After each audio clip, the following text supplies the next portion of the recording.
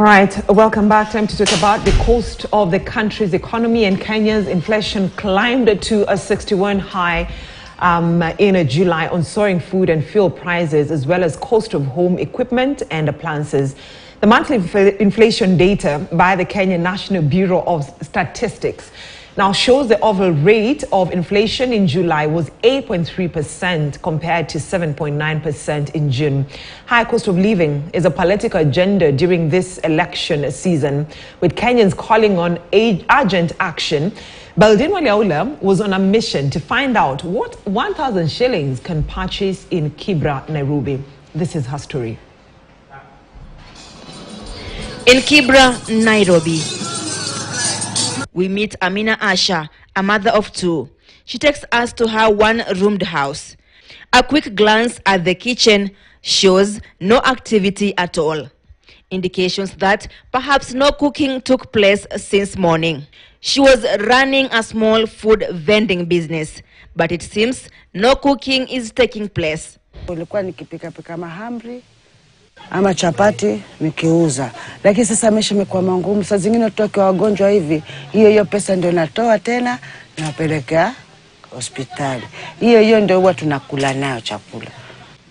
Sasa zingine inakosekana, kama saizi sina kabisa, nimekaa She explains that even getting manual jobs has been an uphill task for her. kila mtu analia hana pesa, hana pesa.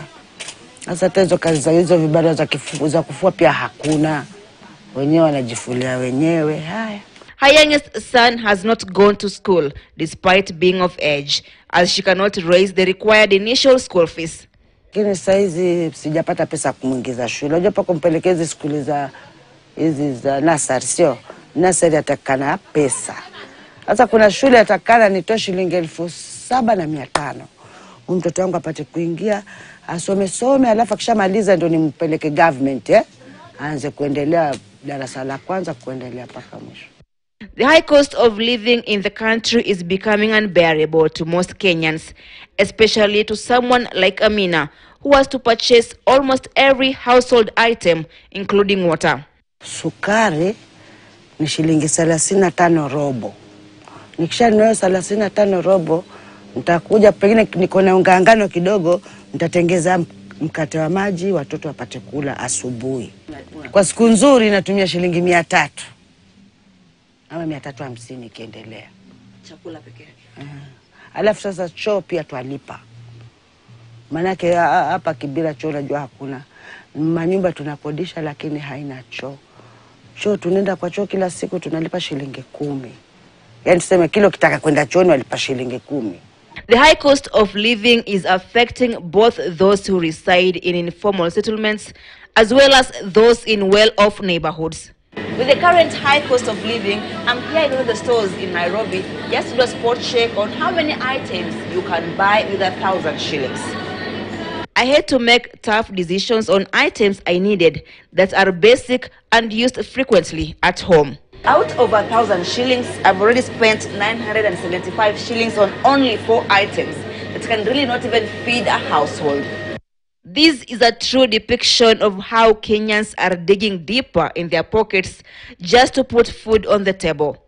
The latest World Bank survey suggests that one out of every three households in Kenya sleeps hungry due to the high cost of living, as most Kenyans are now spending more than half of their income on food.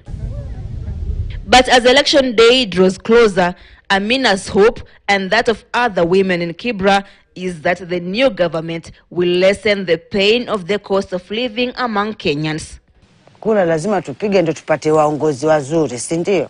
Mtu ambaye atatuongoza vizuri, atatushikilia sisi wamama wajale na hawa watoto wetu ambaye hawana baba. Beldin, Waliaula KTN News. All right, uh, so now um, let's head back to politics and uh, let's have a look at the two main protagonists in the next month's general election have already mapped